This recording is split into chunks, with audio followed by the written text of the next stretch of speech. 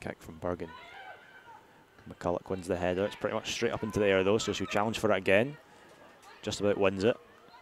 Plays it with the left foot now, looking Excellent for. Donaldson and gets it through to Rachel Donaldson. Chance for the hat trick goal. Still going. And finds the finish. Great goal from Rachel Donaldson. Fantastic ball from Cheryl McCulloch in the first place.